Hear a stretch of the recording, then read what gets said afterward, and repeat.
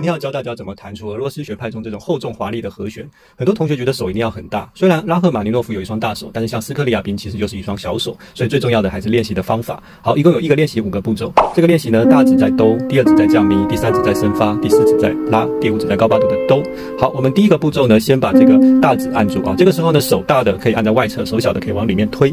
好，那剩下四个手指头呢，我们就用这个原则啊，就是先把这个外侧的这些音开始弹啊。所以这个是二五指先弹。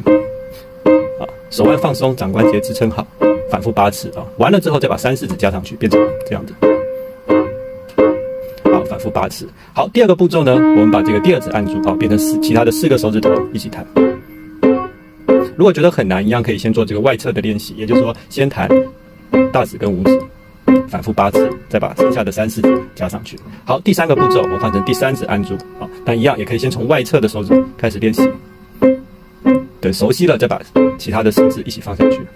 好，第四个步骤，无名指啊，无名指一定要记得要按住，所以要用另外一只手指头去检查它。好，最后一个步骤就是把小指按住啊，剩下的四个手指头。